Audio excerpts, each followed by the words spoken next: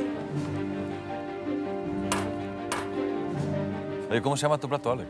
Eh, mar y montaña, porque lo que más me gusta a mí es pescar cuando estoy en Barcelona y montaña porque cuando estoy en el pueblo disfruto de ir a buscar setas. Te puedes meter en un jardín con este rollo, porque normalmente mar y Ya, ya. montaña dice ser algo donde un pollo y una cigala se casan y están juntos, Conviven. Conviven. Se guisan. Los sabores se entremezclan y el mar y la montaña se juntan. Aquí hay dos cosas separadas donde tú interpretas que aquí hay mar y ahí está la montaña.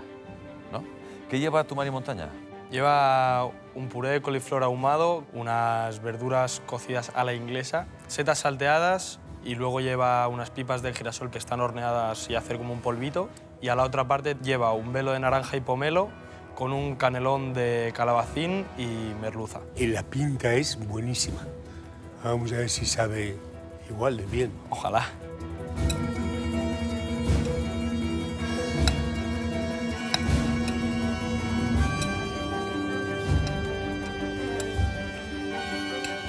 Aquí hay dos platos, lo primero. ¿Pegan los dos? ¿Funcionan? No. ¿Están ricos los dos? Sí. Es muy bonito, hay un montón de curro, tiene un montón de mérito, hay técnica cascoporro. Y eso se lo digo a alguien que ya lo trato como a un cocinero. No se lo digo a un aspirante Masterchef, le digo a un cocinero de, oye, demasiadas cosas, tienes que sintetizar. No sé si lo entiendes, Sí, chef. porque es un halago. Mm, Muchas gracias. Tiene pecados de juventud, pero es normal.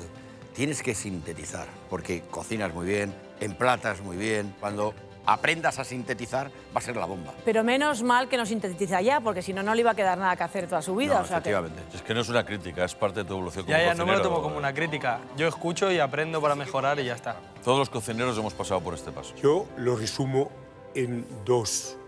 Rico y sencillo.